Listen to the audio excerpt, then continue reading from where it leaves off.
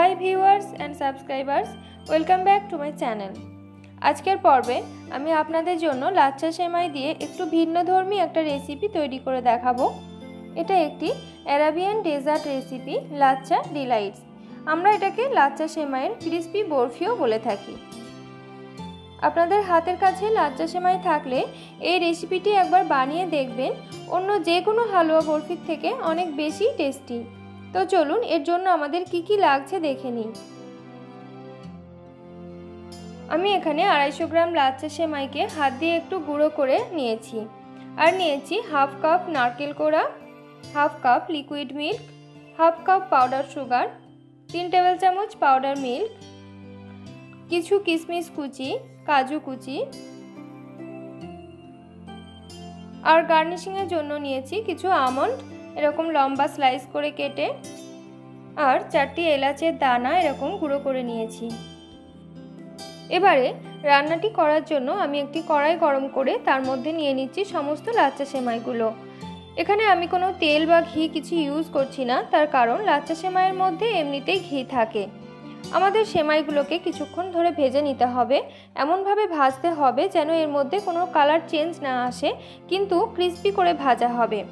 তাই একদম আঁচ কমিয়ে তারপর ভাজতে হবে।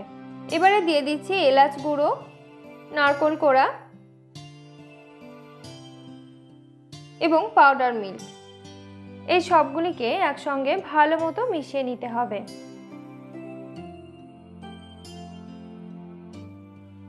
এখন অ্যাড করে দিচ্ছি কাজু কিশমিশ কুচি। আমি কাজু কিশমিশগুলিকে খুব ছোট টুকরো করে কেটে নিয়েছি। তার কারণ এগুলি যাতে খুব ভালো মতো হালুয়ার সঙ্গে মিশে যায়।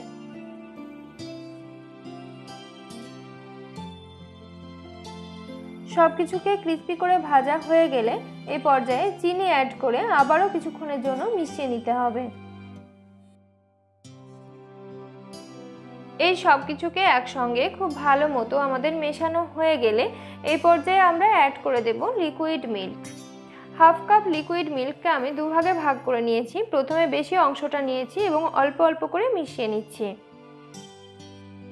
এখন এগুলিকে মেশানোর সঙ্গে সঙ্গে আমাদের বাইন্ডিংটাও চেক করে নিতে হবে। যদি দেখা যায় বাইন্ডিং হয়ে যাচ্ছে, তাহলে আর বাকি অর্ধেকটা দুধ লাগবে না। কিন্তু আমার এখানে বাইন্ডিং হয়নি। তাই বাকি অর্ধেকটা দুধও আমি অ্যাড করে আবারও মিশিয়ে নিচ্ছি। এইভাবে নাড়াচাড়া করতে করতে একটা সময় দেখা যাবে, এটা বেশ আঠালো ধরনের হয়ে গেছে। ওই পর্যায়ে আঁচ বন্ধ করে দিতে হবে।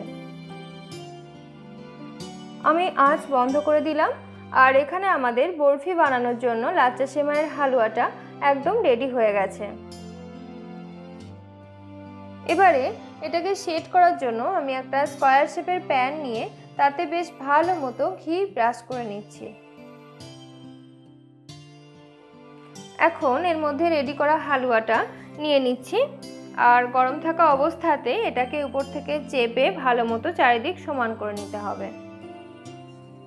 যাতে এটাকে কাটার সময় কোনো রকম অসুবিধা না হয়।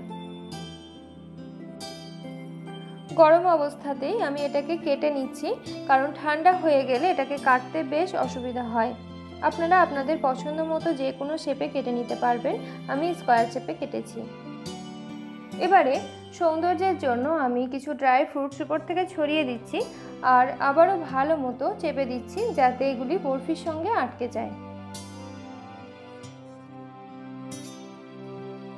এবারে ঠান্ডা করে কেটে তারপরে সার্ভ করতে পারবেন।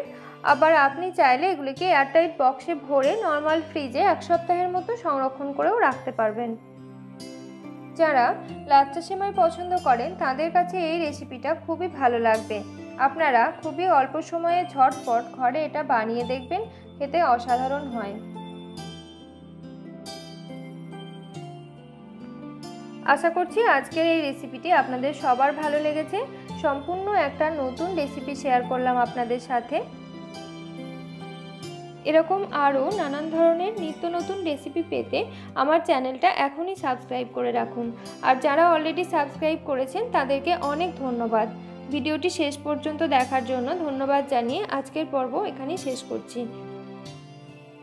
সকলে ভালো থাকবেন, সুস্থ থাকবেন। ফিরে আসছি আগামী পর্বে নতুন একটি রেসিপি নিয়ে।